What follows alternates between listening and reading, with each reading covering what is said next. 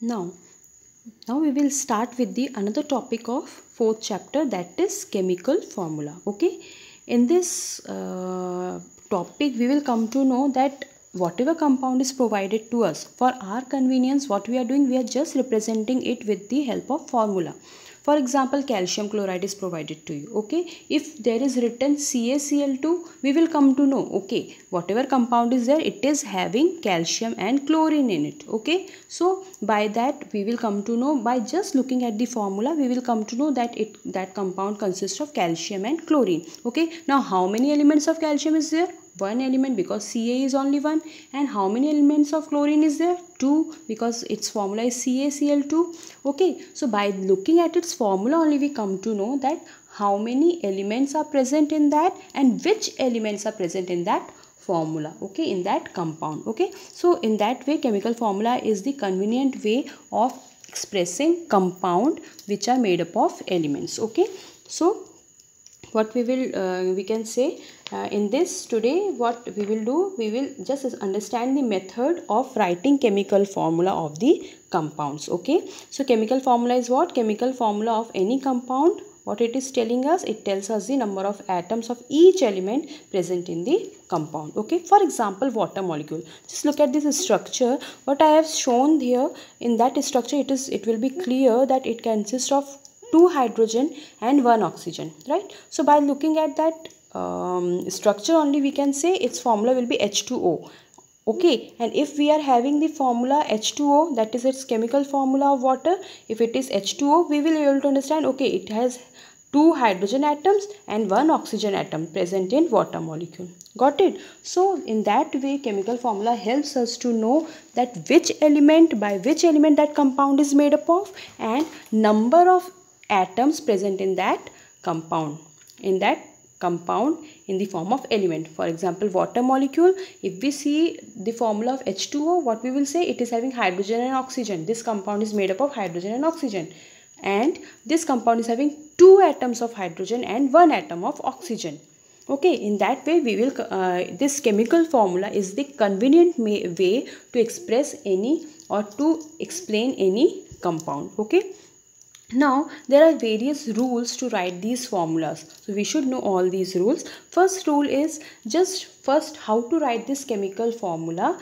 Whatever is um, for example you will be provided by magnesium chloride. Okay. What is the first rule? First rule you have to do that you have to write its symbol. Okay. I am giving you write the chemical formula of magnesium chloride now how will you write the chemical formula of magnesium chloride? What is the first rule? You have to write its symbol. Okay, we already have studied uh, that what is the symbol of magnesium? It is capital M small g, so Mg, right? Now magnesium chloride, what is the um, symbol of chlorine? It is Cl, right? That's what we come to know. Now, so first rule is what? We have to write its symbol, okay? Now, Secondly, what we have to do? There are some elements which are present in its molecular form. Okay, for example, iodine, oxygen, chlorine, bromine, nitrogen, hydrogen, fluorine okay these are always present in its molecular form. For example iodine will always present in i2 form. Oxygen o2 chlorine cl2 bromine br2 nitrogen n2 hydrogen h2 and fluorine f2 okay these are the elements which are always present in in its molecular form and that's why we are writing a subscript just below them. Okay so uh, by uh, for remembering the name of these elements that which elements how will you remember that which elements are present um, in this uh, molecular form in the two just like we have to write I2 Cl2 O2 किस किस element का नाम ऐसा लिखना है for that just I have a trick okay you just remember this in October children buy nasty Halloween foods in October children buy nasty Halloween foods in in which I stands for iodine October O stands for oxygen children in which C stands for chlorine, bi in which B stands for bromine, nasty in which N stands for nitrogen, halogen in which H stands for hydrogen and foods in which F stands for fluorine. Okay so just you remember this uh, trick in october children buy nasty halloween foods. And just by remembering the initials of the alphabet by taking the initials of the alphabet you can write the names of the element which are existing in the molecular form. I2 o2 cl2 br2 n2 h2 f2 like that. Okay understood? Now first rule what we have seen to write chemical formula? It is we have to write its what? Yeah we have to write its symbol okay? For example we have taken the example of magnesium chloride. In that what we have done we have just written writing its what we have done we have just writing its symbol that is for magnesium mg and for chloride it is cl okay? Now what is the second rule? In second rule we have to write its valency okay now let's start. Magnesium. Magnesium means what is its electronic configuration? What is its atomic number? First you tell me its atomic number. It is 12 right? Electronic configuration will be yeah 282 so its valency will be what? Yeah it will lose electrons. So lose means positive. It is plus 2 so mg plus 2 is its valency.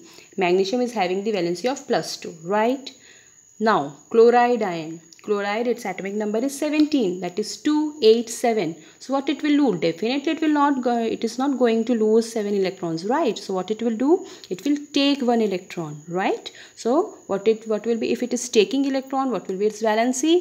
Yeah minus. So chloride is having the valency of cl minus 1 okay? So first we have seen we have writ written is its symbol. Second what we have to do we have to write its valency. What is valency? The number of electrons gain or lose by the element. That is its valency. Magnesium has the valency of plus 2 chlorine is have the valency of plus one, minus 1 sorry. Right? Got it now? So second rule is clear.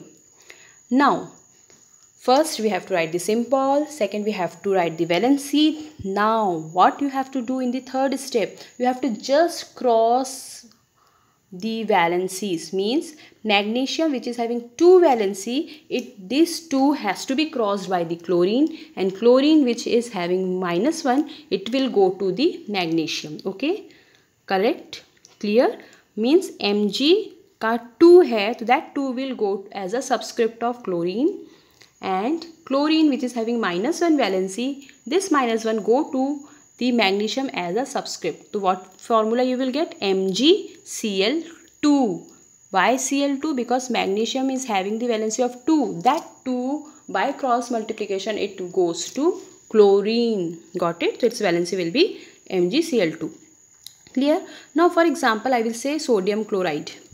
Okay. Now see in this example sodium chloride NaCl now sodium is 11, 281. So it will lose one electron, right? So it will be Na plus 1. Chloride, just now we have seen, it is 17. So 287, it will take one electron.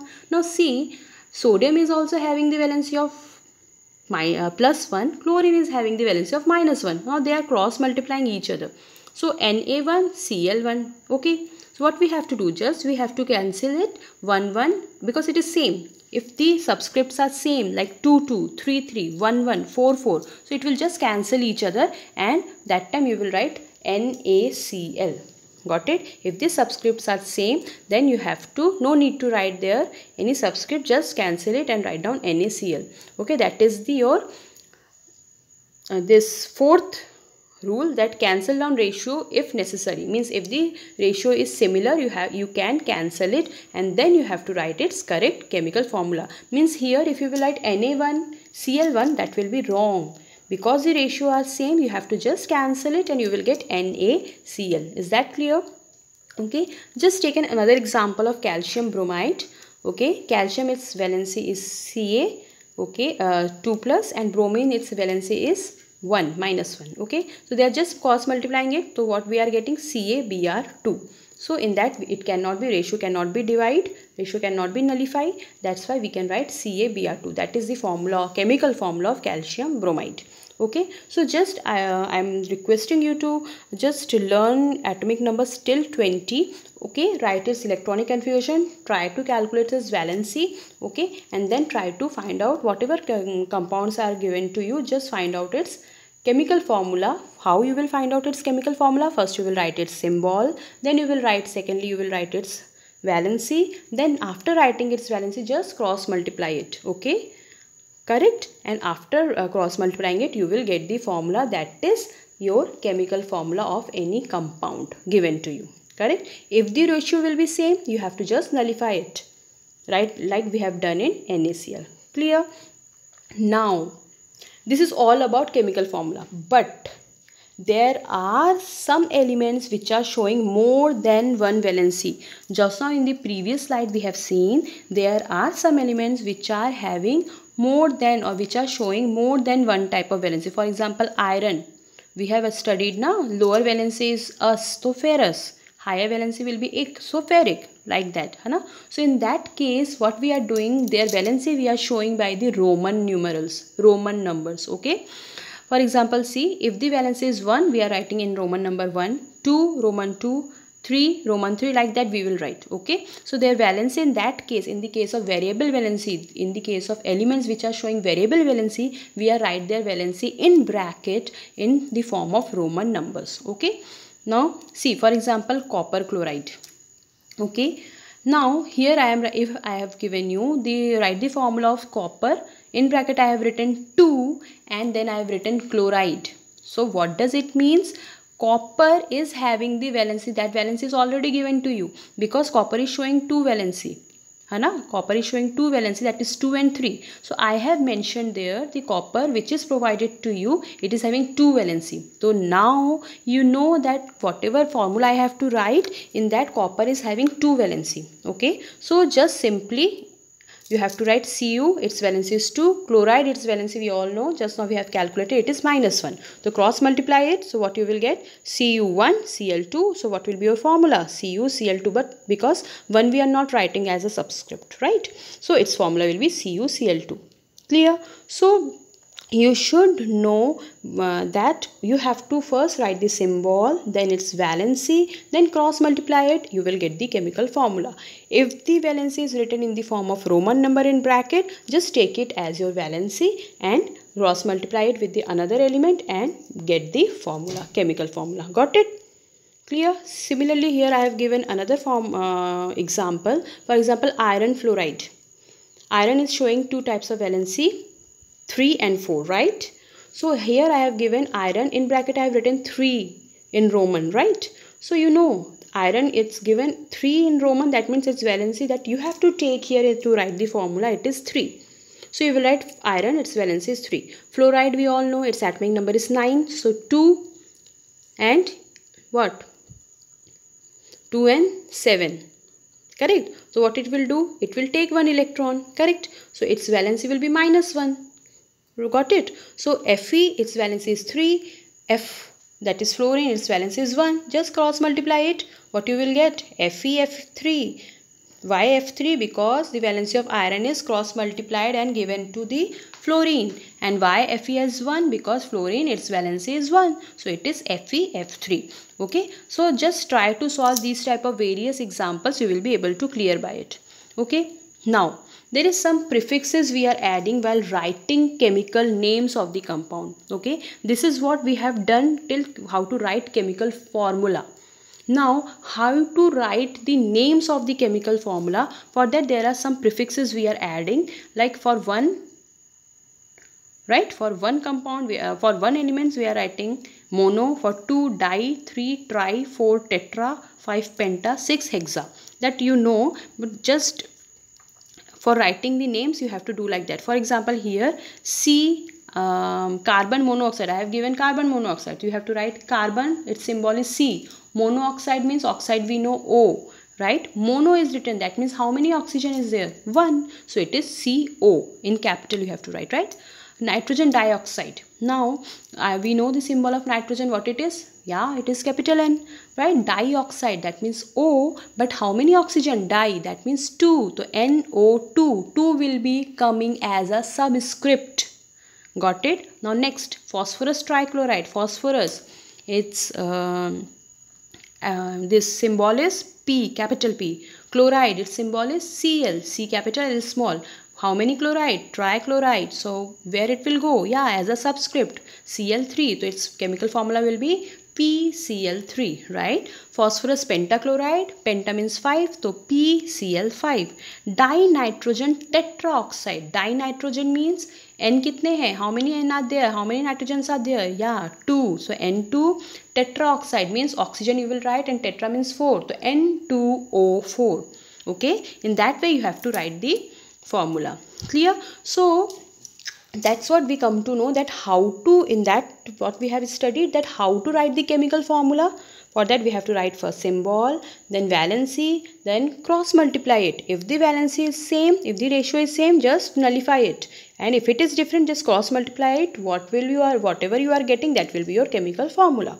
Okay? If uh, for the element of uh, which are showing variable valency that you want to write Hana? For that what you have to do, you have to just write their valency in the bracket. And if it is provided to you that its valency is 2 or 3 in a Roman number, then, then take it as a as its valency okay for example iron if it is given in roman number 3 so you have to take the valency of iron as 3 okay then cross multiply it with the other element and you will get the formula okay now if the names are given for example carbon monoxide dioxide trioxide like that so for always remember mono means 1 di means 2 tri means 3 tetra means 4 penta means 5 tet, uh, hexa means 6 like that okay so whatever it uh, is given to you just write it symbol mono hai to 1 likho di hai to 2 3 uh, try to 4 like that you have to do it okay? So that's all we have done with the chemical formulas how to write it what are the methods